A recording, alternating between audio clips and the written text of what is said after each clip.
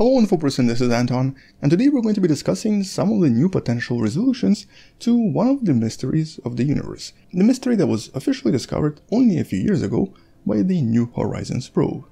The mystery related to the darkness of the universe itself.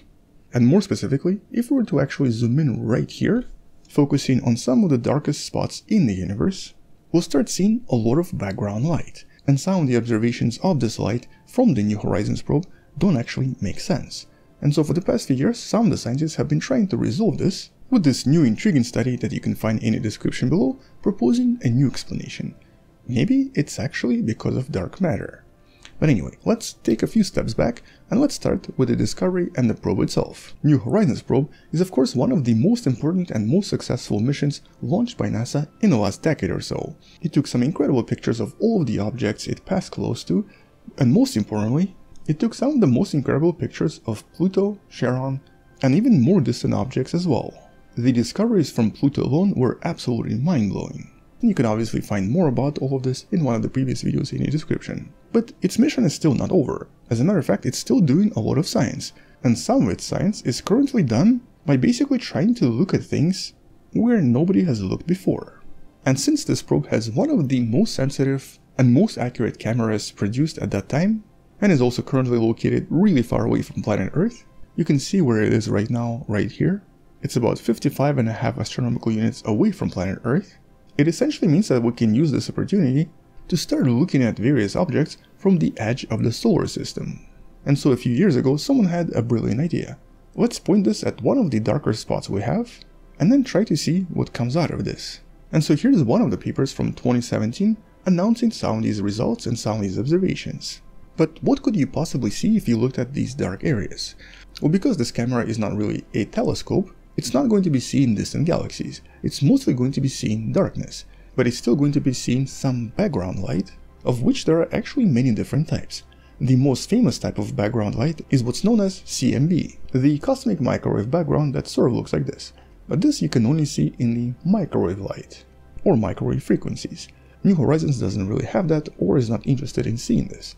But there are other frequencies of light that can be observed by observing empty space. We obviously have X-ray gamma ray light, but in this case there is also optical light, or essentially light that we should be able to see with our own eyes. And about 6 years ago we did have a prediction for how much of it should be detected if seen by various telescopes or various cameras. Now because most of these measurements previously have been done by the Hubble telescope, that's actually located very close to planet Earth, which means that it's not in the darkest possible place to observe this, a lot of the observations from Hubble because of this were not super accurate. But New Horizons was in a dark place, so its observations would be more accurate. And the observations were at least twice different from what was predicted. The background light was twice brighter, which back then meant several things. The first obvious explanation was that maybe there are just a lot more stars and a lot more galaxies out there. Maybe our estimates were wrong, and a lot of this optical background radiation is actually produced by many different types of stars that we're not seeing or didn't even know existed. But if so, it would create a lot of other problems for a lot of other theories. If there are way more galaxies and stars out there than we actually see or even predicted, well, that's not really an explanation. That just creates another problem. How do you explain that? And because we're not really seeing that many near us, it didn't really sit well with a lot of scientists. And so there were obviously other explanations. But now we have this really intriguing one that doesn't actually create more problems, but potentially solves a problem. It does of course involve dark matter. And the explanation is really simple. If there is a hypothetical particle known as axion, with an extremely specific mass determined in this paper, in the presence of very powerful magnetic fields, it would then decay into a pair of photons, producing the light we're observing. But the thing is, none of this is a new proposition or a new solution. This has been proposed many many years ago.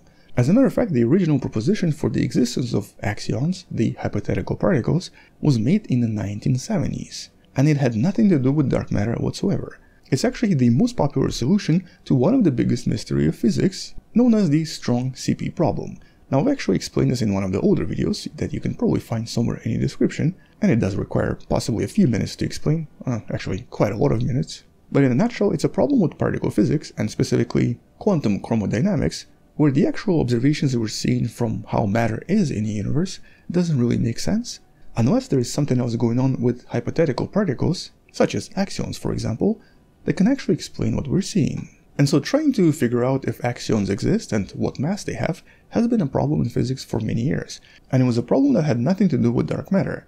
In this case, the scientists were really trying to solve one of the older mysteries in physics of why the universe and the matter in the universe is the way it is. But, as a kind of a side note, someone proposed that maybe, if axions do exist, they could also explain the mysterious dark matter, and a lot of the observations and a lot of the mathematics behind it kind of made sense. And so basically, if axions were real, and if they had very specific masses, they would actually solve two mysteries at the same time. The mystery of dark matter and not seeing dark matter, but also the mystery of why particles are the way they are. But powerful magnetic fields should still be able to reveal them, and so a lot of studies have been trying to find them around black holes, neutron stars, or even our own sun, but so far obviously nothing. And this is kind of what this paper is trying to explain or trying to tackle. It actually suggests that all of this extra light or basically twice as much as we expected, could really be coming from very specific types of axions all over the universe, being annihilated by magnetic fields in the universe, and then creating light. And since they make an actual physical prediction for their mass, 8 to 20 electron volts, it gives other studies and other scientists a reason to prove or disprove this because this is a mass that was never looked at. In this case, the mass proposed is much lighter than a lot of other predictions, and none of the dark matter or axion detectors have never tried to find particles of this mass. Okay, not entirely correct. XENONnT experiment, which is an upgrade of an older Xenon experiment, can potentially detect them, but it's only started operating very recently, and there haven't been any major releases just yet. But more importantly, these initial observations from New Horizons now kind of give a reason to try this with a lot of other observatories, focusing on the same type of light and similar detections. These feature experiments that are known as the line intensity mapping that you can actually learn more about in one of the papers, kind of involve studying these slices of the universe at different frequencies in order to make new discoveries. And so by doing these at different frequencies and looking at different parts of the universe, and using other instruments such as the ultraviolet detector on the New Horizons, or even gamma ray telescopes we have operating nearby, it might become possible to either detect more of these signals or even find other frequencies of light that could be explained by other types of axions as well thus potentially proving this idea.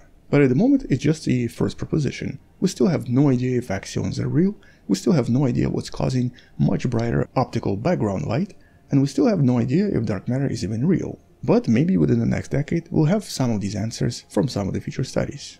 And until then, thank you for watching, subscribe, share this with someone who loves learning about space and sciences, come back tomorrow to learn something else, and maybe support the channel on Patreon by joining channel membership or by buying the wonderful person t-shirt you can find in the description. As always, all of the relevant links and studies are in the description below. Stay wonderful, I'll see you tomorrow, and as always, bye bye.